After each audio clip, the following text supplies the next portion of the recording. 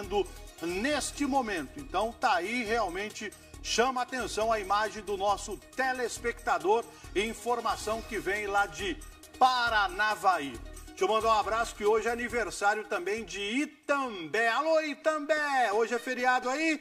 Um abraço pro povo de Itambé. Hoje é aniversário da cidade de Itambé. Hoje é dia do caminhoneiro, do motorista. E a gente tem uma reportagem interessante agora no programa. Por quê? E quando fala em caminhoneiro, você lembra lá naquele pai de família que pega o caminhão, que larga a família, que sai viajando o mundo afora. E isso, não é? É o pensamento.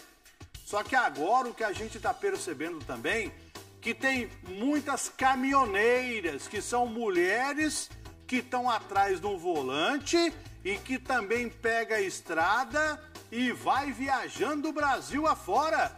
É, não é só caminhoneiro, não. Agora tem as caminhoneiras também. E uma reportagem interessante. Tá vendo a moça aí, ó? Quer ver o que ela faz? Veja a reportagem. Vaidosa, adora uma maquiagem, estar bem vestida. Essa é a Kelly. Mas se engana quem acha que isso é sinônimo de fragilidade. Caminhoneira há sete anos, ela roda pelas principais estradas do país, levando cargas e garantindo o sustento da família. E esse sonho começou quando a Kelly ainda era uma garotinha. É herança do meu pai, né? Ele sempre trabalhou de ônibus, de caminhão. Aí eu cresci, fui vendo também minha família, os amigos. Meu irmão é carreteiro, puxa combustível. E também é a única mulher louca da família família. Atualmente são 986 mil caminhoneiros no Brasil. E essa é sem dúvida ainda uma profissão dominada pelos homens.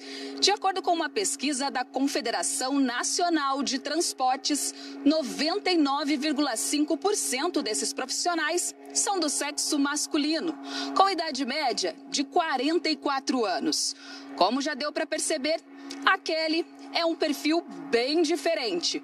Por isso, ela ainda enfrenta muito preconceito principalmente das próprias mulheres. A mulher para trabalhar ela já enfrenta preconceitos no geral, né? Quando tem que viajar então é pior ainda. Segundo dados da ANTT, Agência Nacional de Transportes Terrestres, hoje no Brasil são registradas 209.529 empresas de transporte rodoviário de cargas. A rotina desses trabalhadores é intensa. Eles chegam a rodar 9 mil quilômetros por mês e a trabalhar mais de 11 horas por dia. Com essa demanda puxada, a Kelly se desdobra para continuar trabalhando e poder cuidar dos filhos. Eu tenho minha mãe que me ajuda bastante, a avó dos meus filhos também, que é quase mãe dos meus filhos, ajuda bastante, então daí vai. Um dos riscos da profissão são os assaltos. 64% dos caminhoneiros apontam essa como uma das maiores dificuldades encontradas nas estradas. Para mostrar o dia a dia, a Kelly criou um perfil nas redes sociais, onde já acumula 100 mil seguidores. Nesse espaço, ela encontrou uma forma de fazer registros alegres, mas o dia a dia é bem diferente é complicado, é tenso. É como eu falo para todo mundo, não é só tirar fotinha, postar bonitinho, não, é correria, é tenso. Se você é mulher e também sonha em trabalhar em uma área dominada por homens, escuta só esse conselho. Você vai ouvir preconceito, você vai ouvir que você não é capaz, não desiste. Se você tem vontade, não desiste. Você vai ouvir que é só por status, que você quer se aparecer, não desiste. Olha o trem chegando. Minha vida é dar por esse país pra ver dia descanso feliz, guardando as recordações das terras onde passei, andando pelos sertões e dos amigos que lá deixei. Chuva e sol. A Kelly indo para mais uma viagem. Deixa eu fazer uma perguntinha para você, vai. Coloca o número do meu WhatsApp aqui para você que está me assistindo. Você conhece aqui na nossa região alguma caminhoneira, mulher que está no volante, manda o nome dela para mim. Hoje é dia do motorista, né? Quando a gente fala em caminhoneira, a gente fala mais no, no masculino, que é no homem. Vai, olha lá, salsicha lá, minha nora, como é que ela, minha nora, o nome dela é Carol, ó. Sou frentista de posto, ok, não.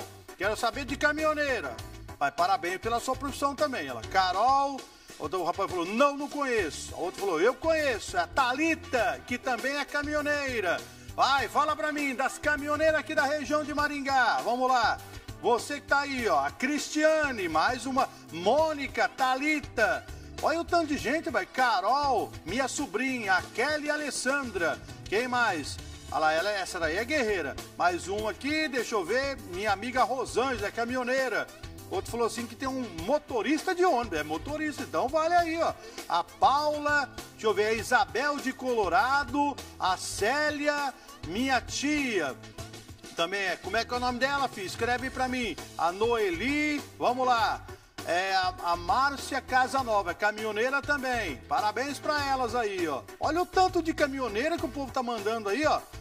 Olha lá, Lucimara, é, agora mandaram o nome de homem ali, não, eu queria saber das mulheres. Minha outra posou aqui, minha mãe é caminhoneira, salsicha. Olha lá, diz que tá viajando para Porto Velho, olha. Lilian de Marialva, é isso mesmo? Nayara, motorista da Garcia. Ah, tem mesmo. Motorista daqui de Maringá tem da TCCC. E tem a motorista Garcia também. A Luciana Frison, quem mais? Fabiana, Ana Carolina. Aí, ó. É, ó, o rapaz falou assim que a tia dele, o apelido dela é Pi. Então tá bom. Aí a tia. A Zélia, olha o tanto! A, é, a Célia, que é da TCCC também. É isso mesmo. Lembra que a gente fez a, a matéria com ela. Quanta mulher motorista, né? Porque pela reportagem você pensa assim, ah, mas tem pouca motorista mulher. Não, tem muita motorista, sim. E um abraço. E elas têm o cuidado na hora de dirigir, com todo o cuidado que todos têm. E ela mete a mão na massa mesmo aí, ó, vendo o óleo do caminhão e tudo mais. Hoje a homenagem foi para os caminhoneiros e para as caminhoneiras também. Um abraço para todos vocês. É nóis, tamo junto.